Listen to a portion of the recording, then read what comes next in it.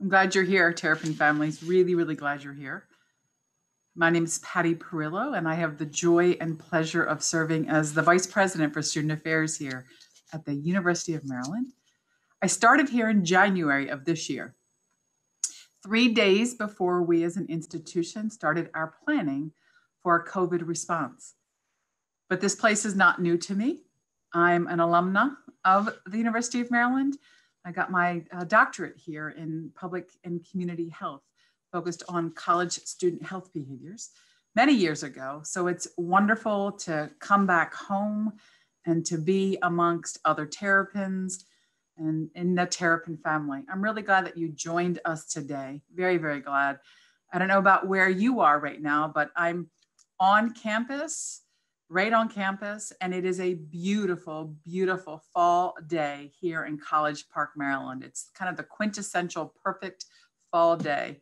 The sun is shining, the trees are beginning to change. It is just a glorious day. And it is lovely, lovely, lovely to see many students out and about, just walking in hammocks, throwing frisbees. It's just a joy to be here. So it's also a joy to have you join us and I'm really glad that you are here. This is how we'll spend our time just for this hour. I will uh, share a bit with you about the Division of Student Affairs and the work that we do with and for your students, our students, and I will also share a bit about the universities. We find that many, many parents have particular questions about that. But I invite you, as you have questions, as questions come up, I invite you to send your questions to Sarah Williamson, you can find that in the chat feature on Zoom. And Sarah will be capturing your questions. And I'll make sure that I save at least half of our time to answer those questions because it's important for me to make sure that we answer the questions that you have because I trust that's part of the reason why you decided to come today so that you might be able to get some of your questions answered. And so again, feel free to chat your questions at any point in time into the chat feature, spe specifically focusing on um, Sarah Williamson and sending them to Sarah Williamson. And we will open up uh, our time today to respond to those questions. So now let me tell you a little bit about the Division of Student Affairs. And I'm actually gonna just share a couple of slides with you, not too many.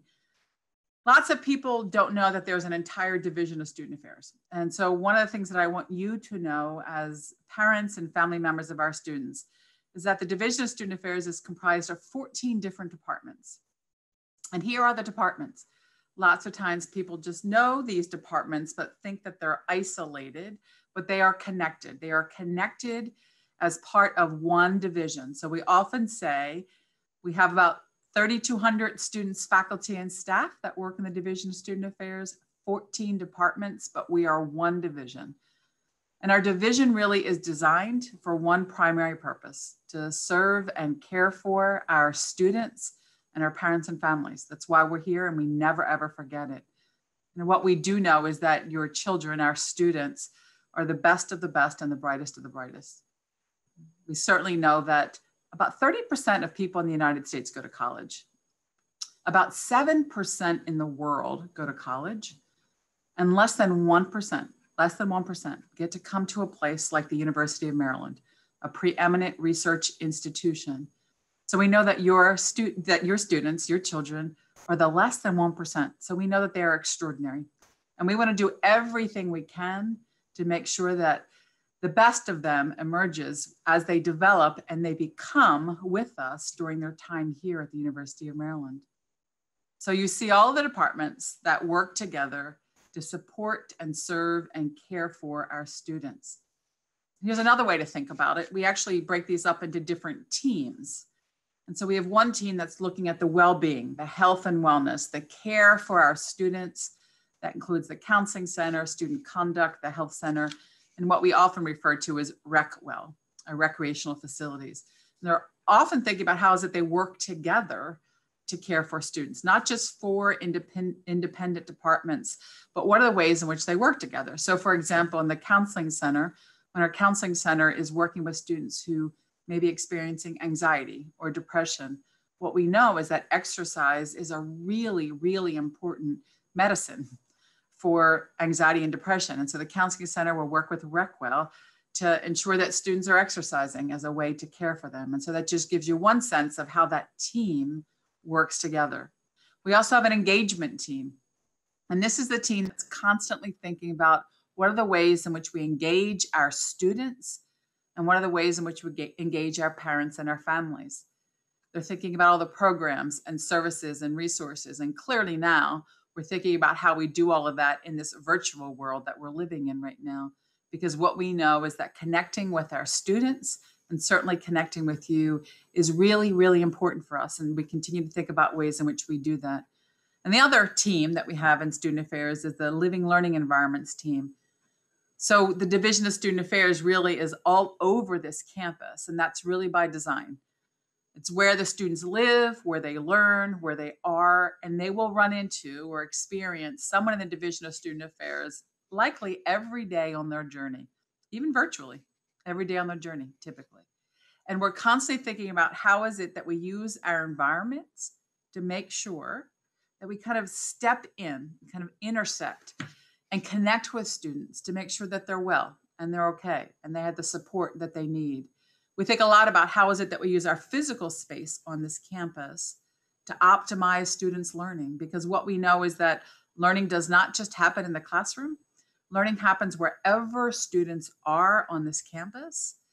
And so we want to make sure that we use our student affairs resources, our physical environment, to think about ways in which we optimize that learning. So that gives you a little bit of a sense of, of student affairs. And I want to tell you about our, our mission and our values. And so, given what I just shared, you can tell that we are deeply invested in student success, their health, and their well being. That's what we focus on. What we know is that the division is the team that really helps to create and shape students' experiences. What I've said before, and I'd like to say it again to parents and families, is that one of the things that I really do value about Maryland is that we do not just ask students, what do you want to do with your life? We don't just ask, what do you want to major in? We ask students to think about who they want to be in their life. What's the legacy that they want to leave? How do they want to make a difference? What about their character and integrity? And so we value outstanding service.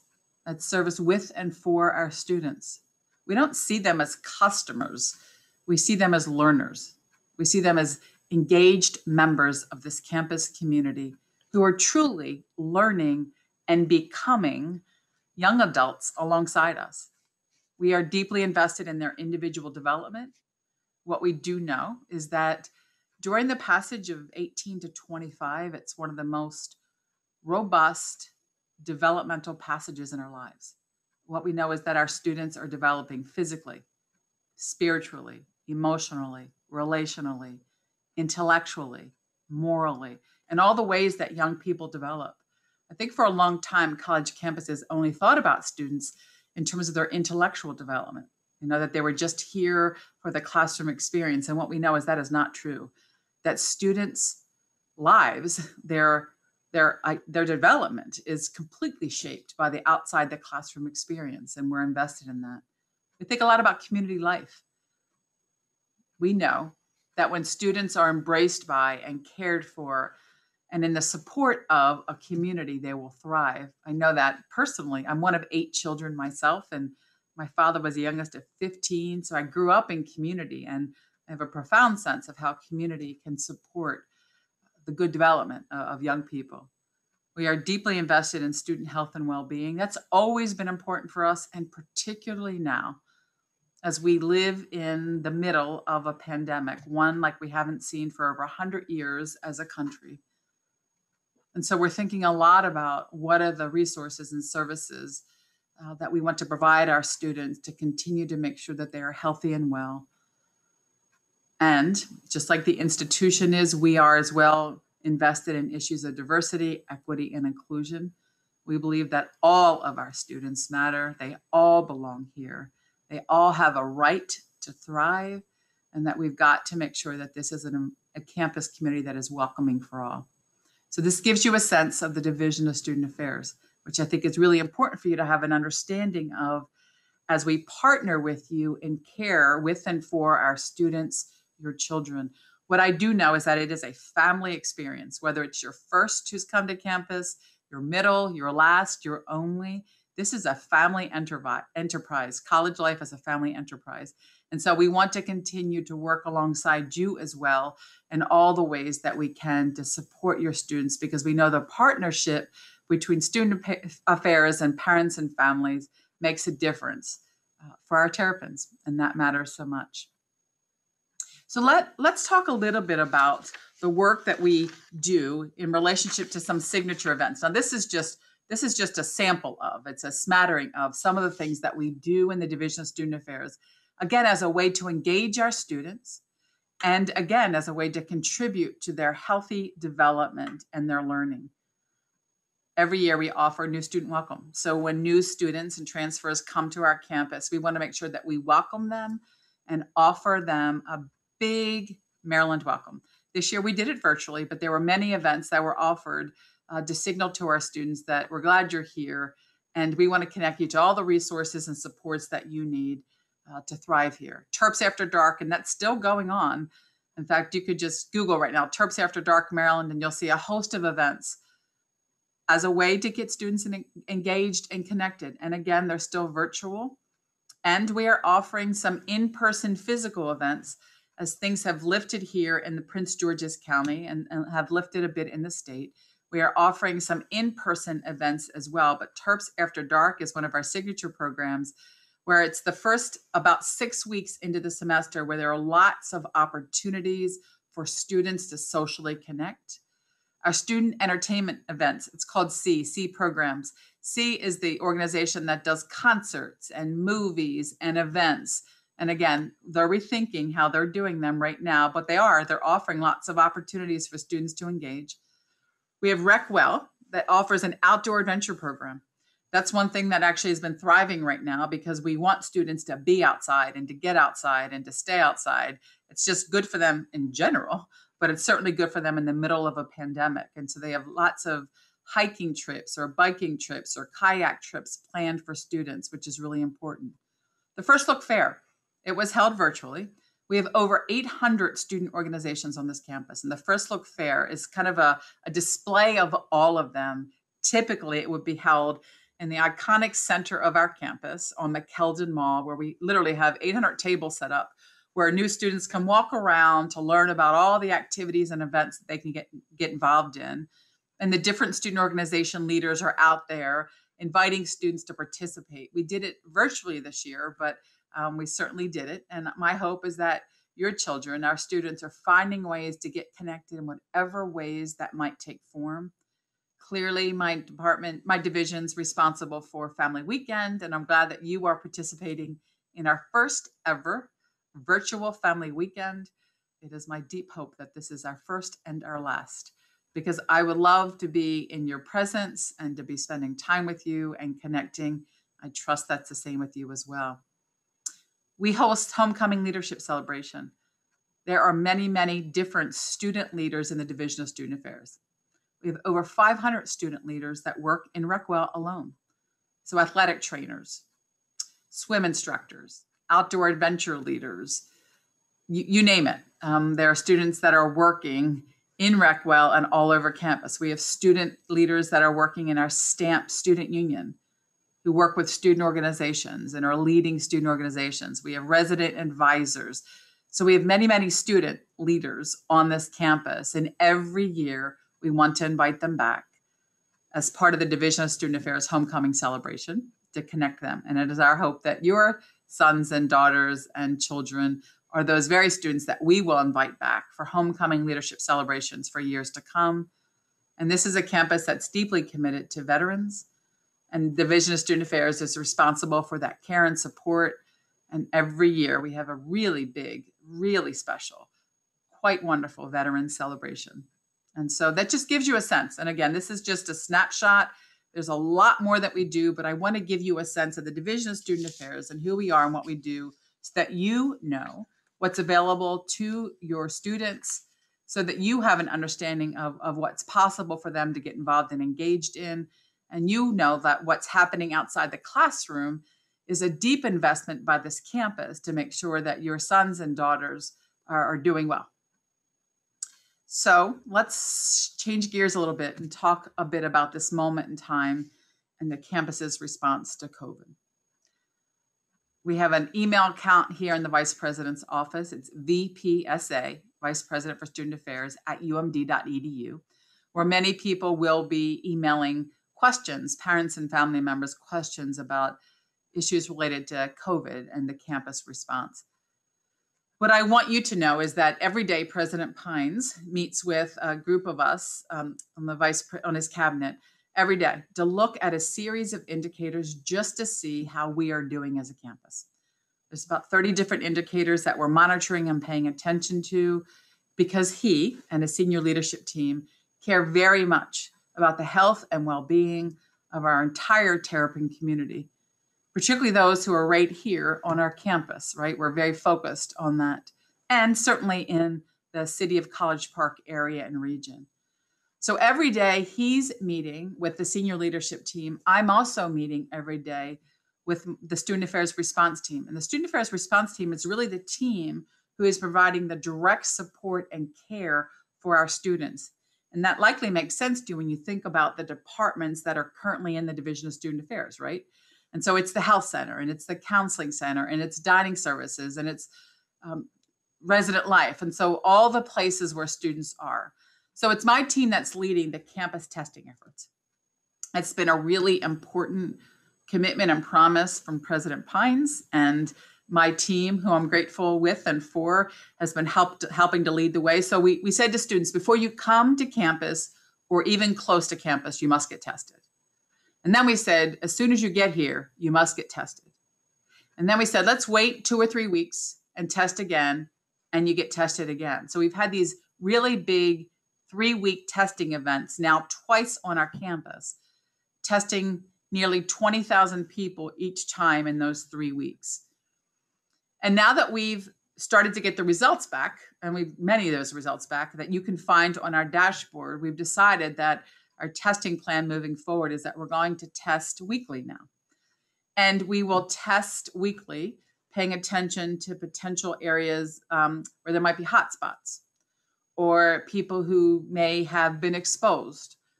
Now, students and faculty and staff can always go to the health center and get tested if they're symptomatic or they've truly been exposed.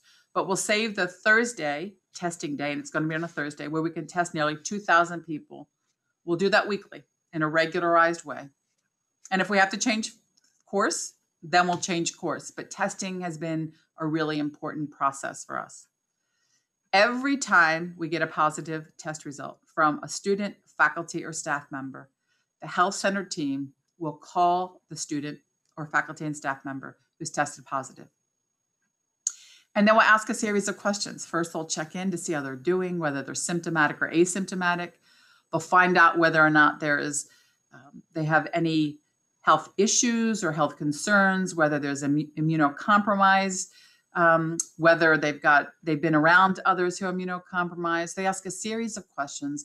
They also ask, as part of the early contact identification process, who they've been around, who they spent time with.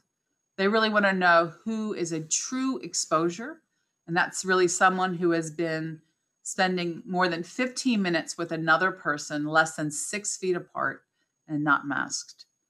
So the health center finds out who are true exposures.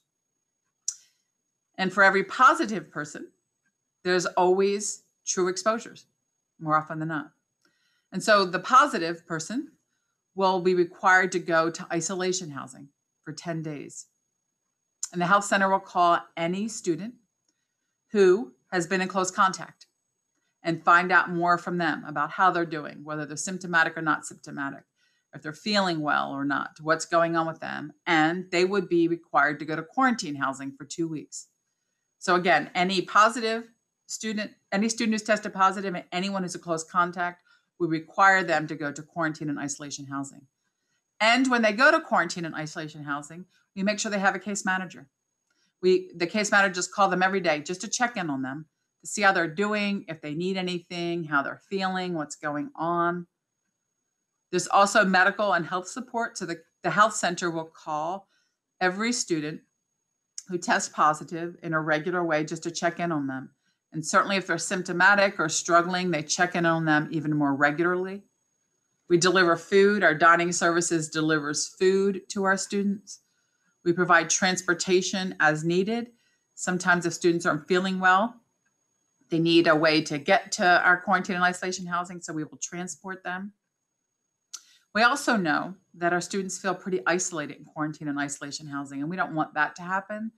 It's an unfortunate consequence of this virus where people have to isolate themselves. And in some ways, students are already feeling pretty isolated, and we don't like that at all. So we offer special mental health support. And so there's drop in hours in the counseling center um, nearly every day during the week where a student can just kind of pop in and talk to somebody if they're feeling really alone and are isolated. So we're providing that additional support above and beyond the case managers. There's a heal line, and the heal line's for anybody that has any question or concerns or who test positive or thinks they've had a true exposure. And so people can call the heal line. And we get many, many calls during the day, and someone in the health center will return every single phone call we get to check in. And we also are invested in family communication. And so for every every time there's a student that goes to quarantine or isolation housing, the parent and family affairs team is available to respond to parents and family members who've got questions or concerns or who want to learn more. We also have another team set up because what we had thought is that um, it would be really important for us to do that. So, for example, if there was a student living on the third floor of La Plata Hall, let's just say, who tested positive, and you might have a, a son or daughter who lives on the seventh floor of La Plata Hall, you may have some questions about so somebody's tested positive in the building that my child's living in. How will you support us? And so there's a team that's available to support for that as well. And so I just wanted to reassure you and to have you understand that there's a whole lot that we are doing at the University of Maryland to care for our community during these complicated, unprecedented times. Deep investment, a deep care, wanting to keep our terrapins healthy and well. And I think that's part of the reason why we have been staying the course. We weren't sure where we would be at this moment in time. You, like us, likely witness many other universities going to 100% online, changing course pretty quickly. Some even started it three, three days into a semester. Some are sending students home. We are now five weeks into the semester, and we're able to stay the course. And I, I attribute that maybe to kind of two broad things. One is the investment of this institution to care for our students, and because our students have been doing beautifully, beautifully. I'm just so proud of them and so grateful for what they are doing. Maybe you have, like I have, witnessed many colleges and universities on the front page of newspapers or the Chronicle of Higher Education because they've had these really big parties. And the issue with the really big parties is that it allows for the virus to spread pretty rapidly. And when you get that many people test positive that quickly, invariably institutions can't support it. They run out of quarantine and isolation housing, or they don't have enough health center staff to be responsive. And that's why institutions have had to change course. What we've witnessed at Maryland is that we are still getting positives every day. Every day we're getting positives. In a, in a campus the size of about 50,000 people, you would expect that. But we're getting it at such a pace that's allowing us to manage it and being responsive to it. And so I applaud our students. I'm grateful for what they're doing. I walk around this campus every day, and nearly 100% of the times, nearly 100% of the times, I'm, I'm seeing them with masks on and remaining distant. Um, we have great partnerships with the Prince George's County leadership team as well as the City of College Park leadership team. We're in this together. We're focusing on the expectations of the restaurants and the bars in College Park and that's been really, really important for us as well. So, wanted to give you a good sense of what we're doing here at the University of Maryland. So, at this point in time, it's enough talking for me. What I'd like to do is to answer your questions. And so, it's my hope that if you've had questions, that you um, can just chat them to Sarah, Sarah Williamson, And Sarah has been capturing those questions and has agreed at this point in time to share those questions with me so that I can um, respond to them and answer them for you. So, Sarah, uh, would you like to uh, let me know what questions um, we have? Certainly. Good afternoon, all. Um, our first couple of questions are in the realm of engagement um, for students. And so our first question, um, can you provide specifics about tutoring services or other academic services available on campus? Yes, you know, I just heard this yesterday. So I'm new to campus myself. I think I shared earlier. I've just been here eight months and am learning about all the resources available to students. Tutoring doesn't fall within the Division of Student Affairs. Most of the tutoring falls within academic affairs. But it's my understanding, and Aaron or Sarah, correct me if I'm wrong, I think that you can go to the Maryland's website and just type in tutoring, and a list of tutoring options are available to our students. If that's not the case, then I will make sure that we identify ways for you as parents and family. Look, look at that. Sarah's uh, posted that in the chat feature. So there's a link to tutoring options. And I just learned this this past week. There's a link to tutoring options. And my hope is that answers your question and provides that resource to you. Thank you. Good question and really, really important question. Sarah, was it about tutoring and something else? Other academic services on campus. So tutoring's a really big one. Um, I know that each of the colleges has staff available in their offices to answer phones, answer emails, greet students. And so if students have some academic questions or concerns, they can uh, go to any of the colleges where students are taking classes and get those supports. Um, I also know that uh, if students have who are physically here on campus, if they have to do presentations for their classes, um, videos for their classes, that Academic Support Services has placed different video rooms on campus where students have an opportunity to kind of have their own video to do their work that way. And so I'm Aaron and Sarah, anything else that I might offer as we think about academic support services, or does that answer it? I think you've captured a lot of them. I know that our counseling center has a wealth of um, connections to other academic services as well on campus, whether that be guided study sessions or getting people in touch um, if they need any additional accommodations for their classes related to academics. So that's right. Um, definitely a great option there. And also the counseling center does have, if you go to their website, they've got a list of different workshop workshops that help students um, as well. So that's another resource. So thank you for that, Sarah. Mm -hmm. Um, our next question around engagement is that some students are feeling isolated because of the different restrictions on campus. So what is available that students can engage in now that is in person and not virtual? Completely understood. Quite honestly, this is now that we, in many ways, I mean, I never want to say never or ever. Um, I have a colleague who works at Towson University and Towson had to change course pretty quickly related to the coronavirus. And she said this on a panel and it stayed with me. You're good until you're not when it comes to coronavirus, right? You're good until you're not. And so while we're doing well right now, I know that that can change course at any moment in time. So now that I feel like we're doing all that we can to do the best that we can to manage that, I also have been carrying with me this deep concern about our students who may be feeling isolated. And so, what we do know about our students in this generation is that they are the loneliest generation that we've studied, which makes me sad. And I want to invest in making that different. And so does my team in the Division of Student Affairs.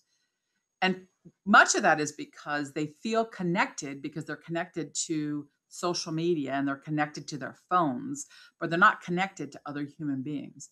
And you all know that we are wired for human connection. And because they're more often than not connected to social media and their phones, they haven't necessarily developed the social skills to connect with others. And so we're spending a lot of time in the Division of Student Affairs thinking about what are the ways that we help strengthen and build the social skills for connection. So they're already coming to us feeling lonely. And then there's only one student per room on campus. You know they have to go to isolation housing or quarantine housing if if if, if they're not well or they've been exposed. So the the sense of isolation and, and loneliness has just continued uh, to increase. And so we are constantly thinking about what are the ways that we help to support them. And so each week I'm sending messages out to students to tell them not, I think that there have been so many messages about what not to do that I wanted to send them messages about what they can do. And so for the first month, many of the messages were about get outside, find a friend, and take a walk. Grab a meal at the dining center and sit on McKeldin Mall with your friends and stay six feet apart. Go for a bike ride. And so we are now just at a place, given where we are in the county and given what's happening on campus, we are opening up more in person activities. And you're going to see many more of them beginning even next weekend and the weekends after. But even right now, there are things that students can do, like outdoor adventure activities. The Stamp Student Union is um, also hosting some movie viewing, and some of that movie viewing, viewing is virtual, but then students can come together perhaps and have some conversations about that. There, there are a series of kind of meditation and yoga workshops that we're offering outside, um, and people can do that in person. Recwell has an opportunity for students to rent different um, like bats and balls and resources so that students can go out and play. And so what we're there's also intramurals and we're doing intramurals and we've also opened up group classes, group exercise classes.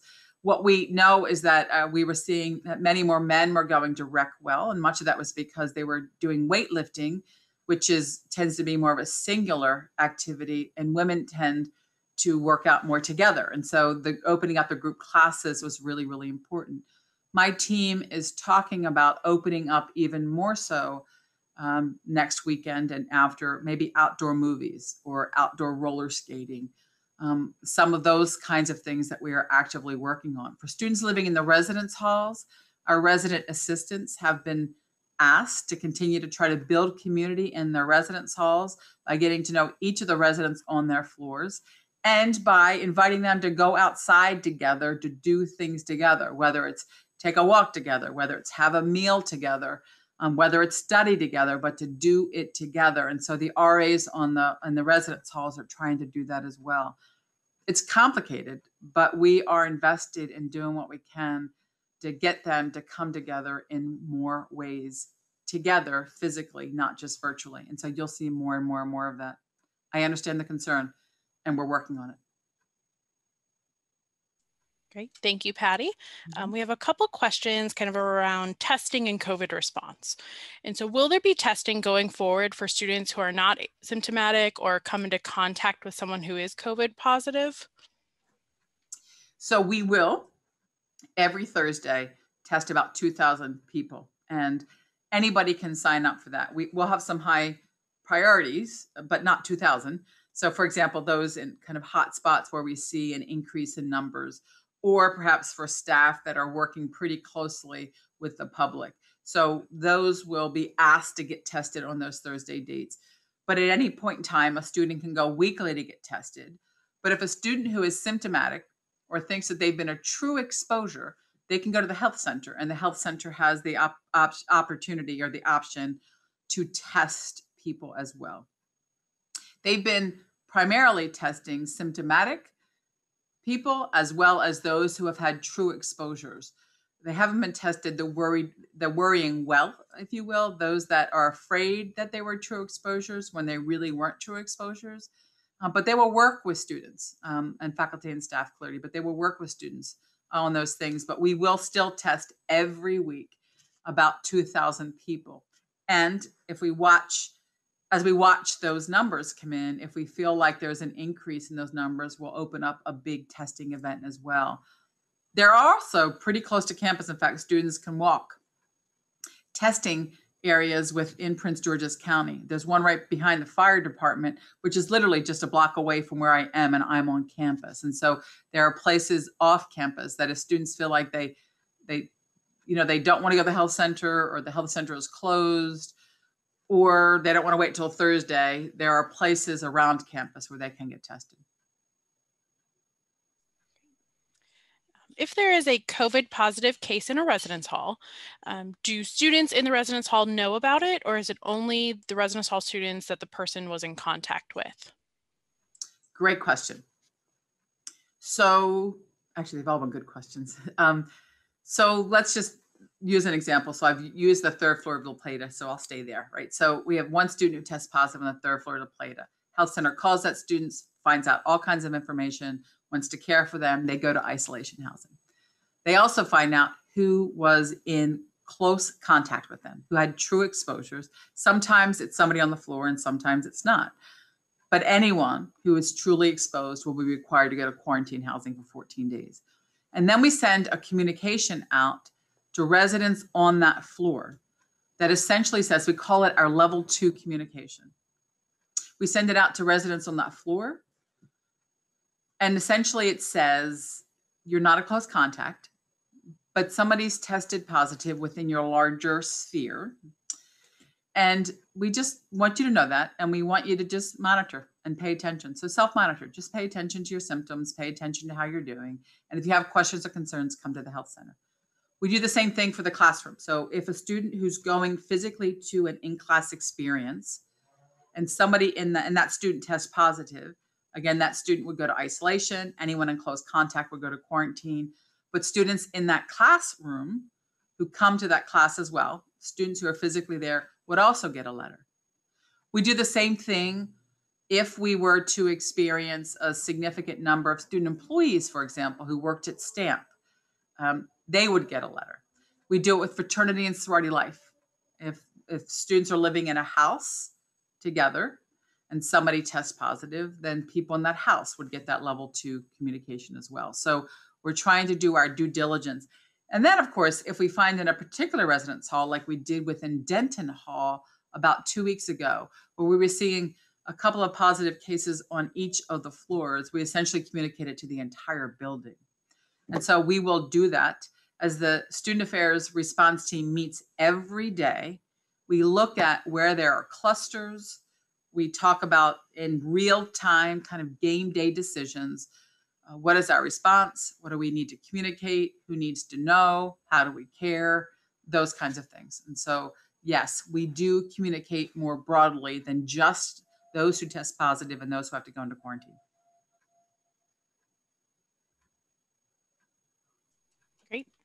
Uh, thank you, Patty, for those so far. Um, just wanted to let everyone know I'm capturing your questions. There are a lot of them, so um, please forgive me. We're going to hope to get through as many as possible.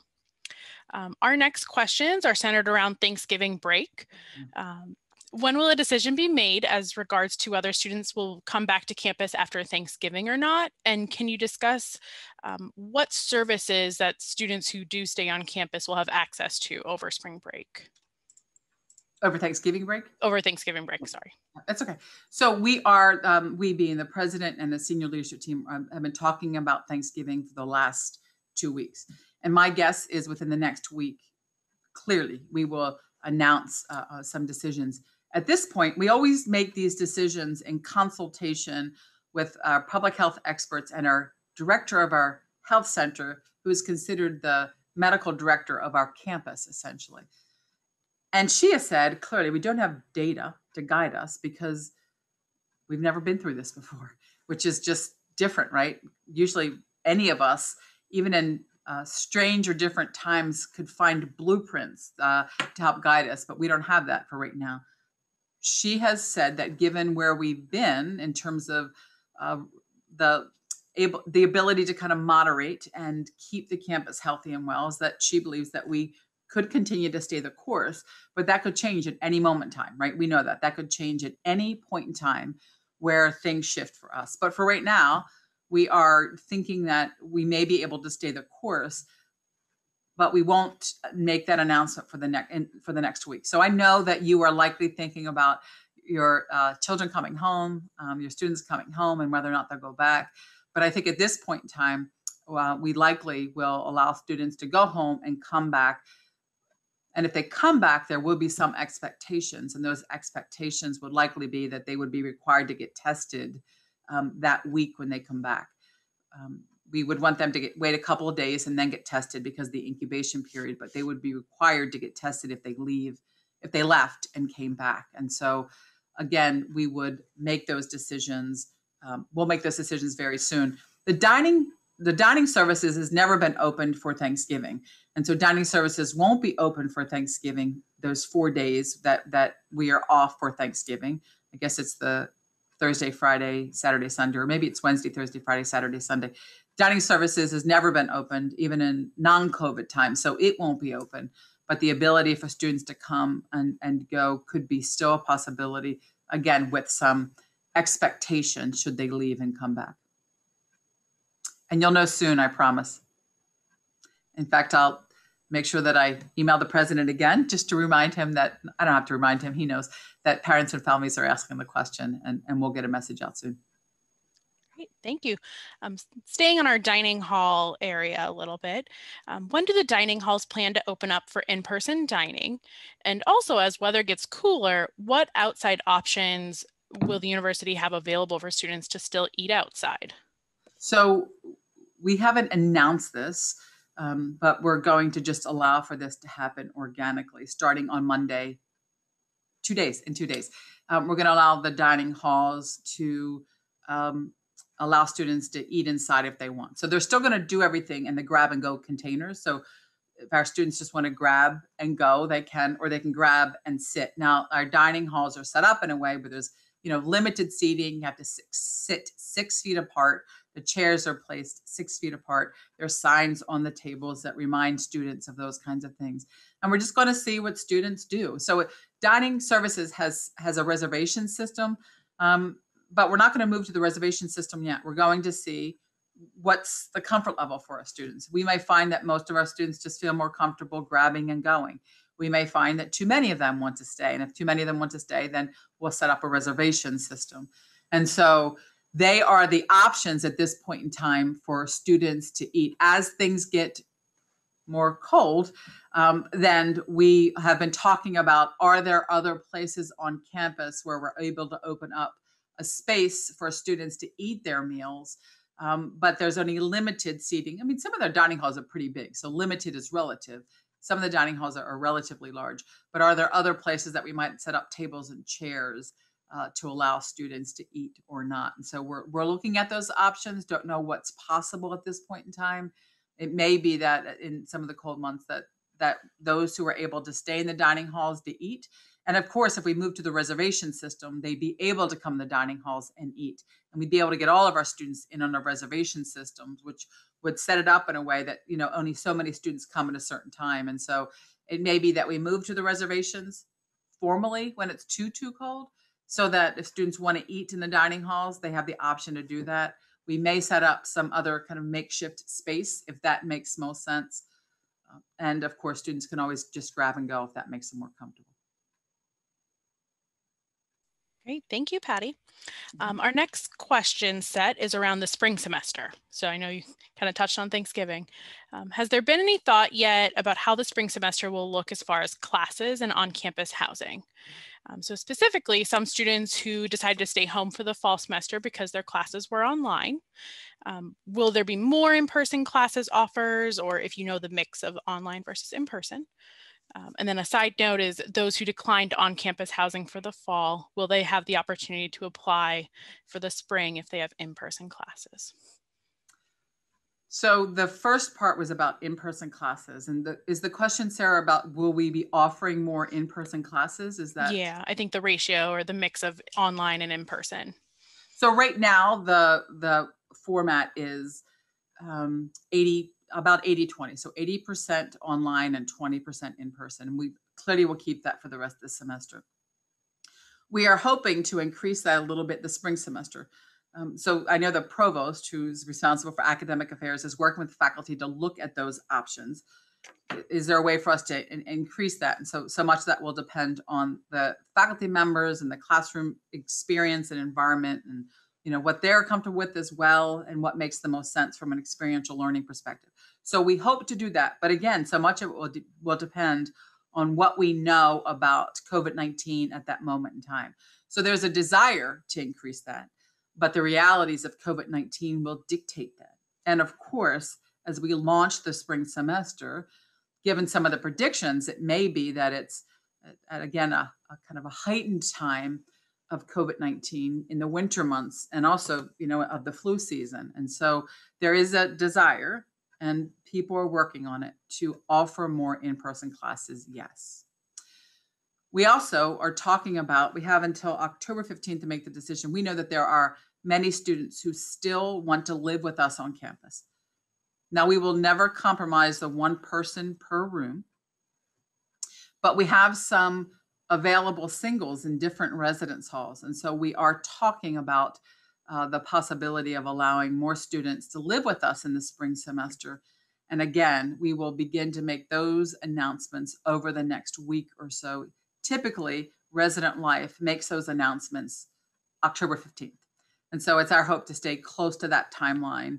And we're moving in that direction. We are moving in that direction, but part of what we have to wait for at the University of Maryland is what conversations are happening at the system level. So there's a, a there's a University of Maryland system where the 14 schools, 12 to 14 schools in the University of Maryland system may make some decisions collectively. So we'll know those decisions over the next two weeks, and clearly by October 15th, we'll signal uh, one way or the other. But it's our hope that we're able to do that. Great. Um, kind of building off of that for our residence halls, will they keep the one person per residence hall room for the spring? Um, I think that, yeah. Absolutely, question. without question.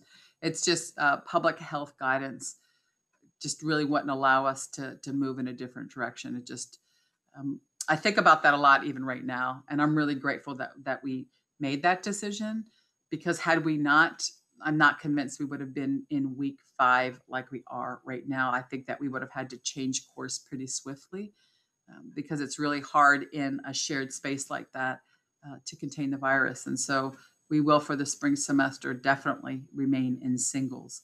And my hope is that we allow more students to live with us. Great, thank you. Um, our next set of questions are around kind of academic courses. Is it possible for some smaller classes to meet outside in person? Um, or are there other options for in-person activities for first year students that are on campus in those classes to meet up? So I will share that with our provost. That, uh, that that that was a question that came from this session this time with our parents and families. She's really responsible for kind of all of academic affairs and um, what what happens inside the classroom, and I will make this recommendation to her to her and um, my I know that she'll share it with faculty to encourage faculty to do so. I do know that some faculty members are taking some of their classes outside because as I walk campus, I see that there's classes outside sitting in circles. So some of them are doing that.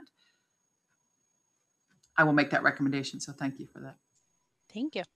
And then Patty, what is the number or percentage of students who are staying on campus versus those who stayed home and are taking all of their classes online? So we um, we typically house about 8,900 students in kind of our, our, our campus proper, if you will, our, our on-campus residence halls that are part of the University of Maryland. We usually house about 8,900. This semester, we are housing 3,900. So to have one per room, it's about 3,900. So we have about 3,900 students living in our residence halls. Then there's also what we call the P3s, the public private partnerships, that we have a relationship with, but we're not responsible for. We certainly are responsible for our students and their care, but we're not responsible for the housing.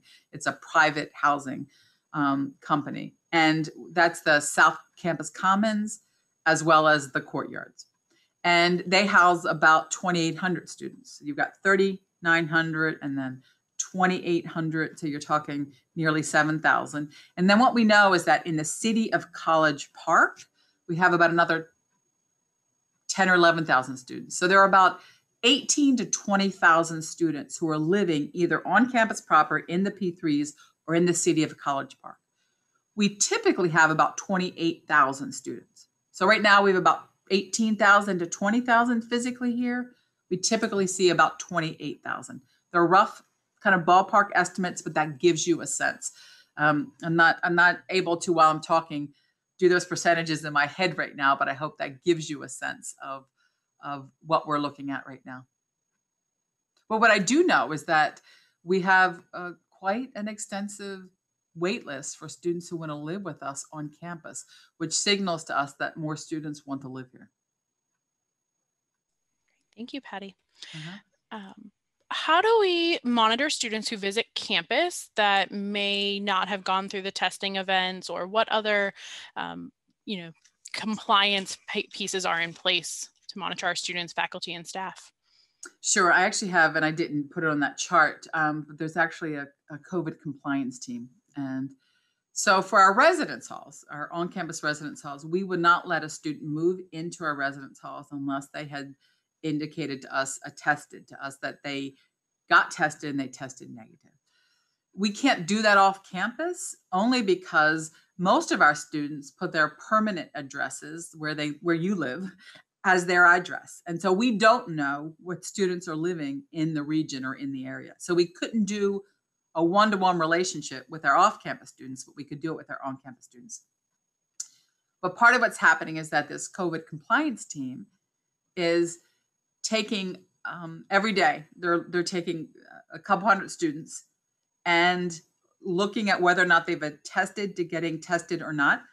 Excuse me whether they've attested to getting tested or not. And if they haven't, they will email that student that says, according to our records, you have not attested or had a, a, a COVID test yet. And invariably, what our students will say is, well, because I'm still living in New Jersey, or I live in Gaithersburg and I'm not coming to campus. So, you know, we'll let them go, obviously. Um, but we will sometimes find a student who's living in the area who has it. And we will say it, it is a requirement for you to come on campus that you get tested and you need to do so. So there's this team that's doing clearly residential on campus. We have a one to one relationship and we know the students who are getting tested. Off campus, we're doing these kind of audits, these snapshots of compliance reviews to hold students accountable. And, you know, students talk to each other as they should, which is great. And they know that we're paying attention, which we hope inspires them to do what they need to do, which is really, really important. Great. Thanks, Patty. Mm-hmm. Um, in response to our testing plan, wouldn't it be more prudent to have more mandatory mass testing events since many health experts say um, college age students are asymptomatic largely and would likely not know they are positive and volunteer to test? So we are probably one of the only campuses in the Maryland system. And, and you know, I spend some time with my peers, um, my counterparts in uh, who are vice presidents for student affairs in the Big Ten. And I spent time with my counterparts um, here in the in the Maryland system, we have meetings as vice presidents just to learn about best practice, what's working, what's not working. We're one of the very few institutions that have done these mass testing sites the first three weeks of class, then we waited two or three weeks in the second two weeks of class. So what we did is we got some um, kind of population numbers that we have a sense of what we're talking about in terms of positivity rates on our campus. And because our positivity rates are so low, we're moving in a different direction. And again, it's it's guided by the director of the health center, where every week we're going to be doing testing. And we we have a sense, we know because students are required to self-report and they are required to self-report. So whether students live on campus or not, they get tested off campus, they're required to self-report. And every person who calls in or gets tested on our campus has someone from the health center who's calling them up and doing the early contact identification and we're moving positives into isolation housing and those in close contacts into quarantine housing, right? So that's happening every day. It's happening right now. My team's doing that right now, making phone calls to people and, and moving them into quarantine and isolation housing, delivering food. Case managers are assigned. That's happening like clockwork in the background. It's an enormous enterprise. And it's really quite beautiful to see how people are caring for our community. But because our positivity rates are as they are, we don't feel like we need to do this three weeks of testing all the time. We're going to do every week 2000. And if we see that there's an increase, then we're going to do more testing or require more testing. So that's why we've landed where we've landed. Okay, and our final question before we give you the last few minutes of closing, uh, does campus offer flu shots? Yes. Um, we had a flu palooza. that's what they called it. So they literally gave flu shots to hundreds of, of students, faculty, and staff on one day. And then there was a whole week where people come to the health center. They actually had these tents set up on the side of the health center, and you could just go get it outside. I got mine. It was quite easy.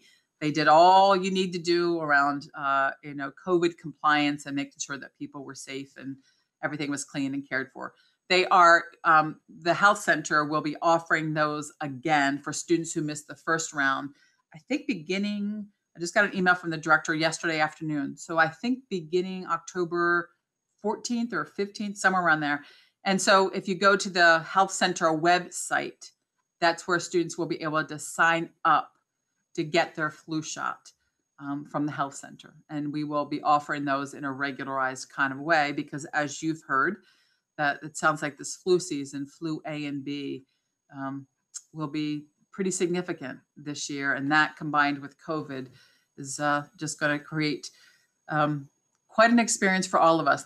Although many now in public health are saying that given that so many of us are masked and washing our hands, uh, you know, and staying six feet apart, that perhaps we won't see the kind of increase in the flu as that they had predicted some months ago. So, all great questions. Thank you very, very much. I hope that we answered them all. And if we didn't, you can always email VPSA, Vice President Student Affairs, at umd.edu.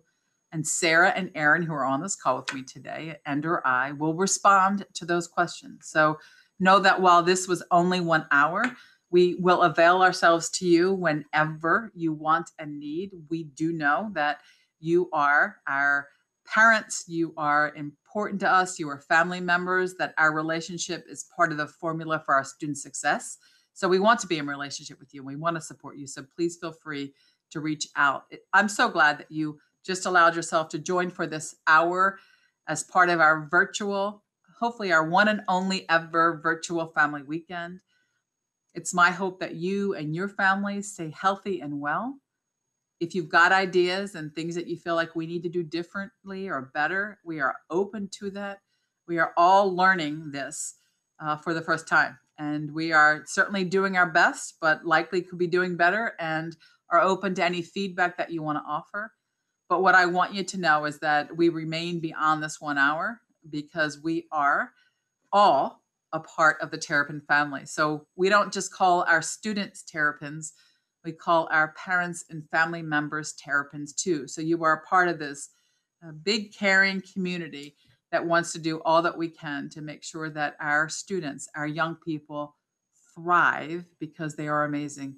And we know that that's your aim too. And we want to do it in partnership with you. So thanks for showing up. Thanks for asking your questions. Thanks for being here. Have a wonderful day. Stay healthy and stay well. Go Terps.